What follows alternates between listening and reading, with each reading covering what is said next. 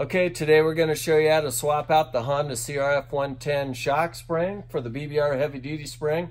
First thing you do, clamp it in the vise, pull the spring down till you can see the circlip, and then take a pick and pop that clip out.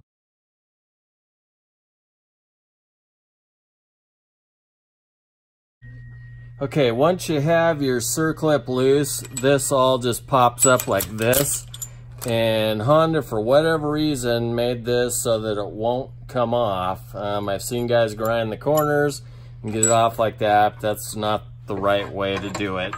Um, just flip the shock upside down and then everything's basically loose. And this is a nut right here.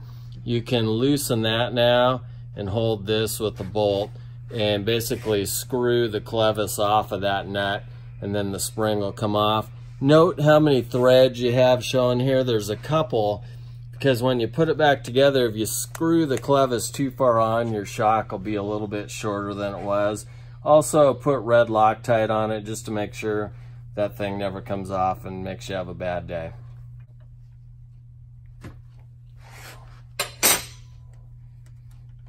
And then you back this nut all the way down to the chrome shaft and then it'll actually um, tighten itself on there and it'll loosen the shaft right out of the clevis. Okay, once you get the clevis loose, then you have to get the jam nut back off of the chrome shaft. If you have soft jaw vise, you can put it in there and it'll come off. Um, or you can take two 10 by 125 nuts and screw them on there. Break it loose like that. I've seen guys actually grab the shaft down here with vice grips before because it's under the bottoming rubber. Probably okay, but I'd be scared to do that. But if you got no other way, I think that would work.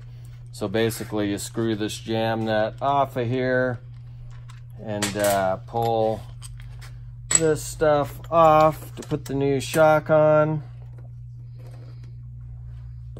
Okay, once you get the jam nut off of there, the spring comes off. You put the new BBR one on. It's smaller on one end than the other. The small end goes down first. And then you put the slider over the top. That holds the spring there. Then you put the big washer on like that. And then you put the jam nut on. And usually we red Loctite these things. You don't want them coming off. So put some of that on there. Put your jam nut down and remember to leave a couple of threads showing like they come or it'll change the length of the shock. And then you can screw the clevis back on. The BBR heavy duty spring's a lot stiffer than the stock one, so it's really hard to pull down and get the circlip in there. If you're a tough guy, you can do it. We use a spring compressor um, you can also go to your local auto parts store and they usually have a spring clamp. It looks like vice grips that pinch the coils. That works too, but this is the easy way. It just compresses it. Then you can just snap the clip right on there and basically you're done.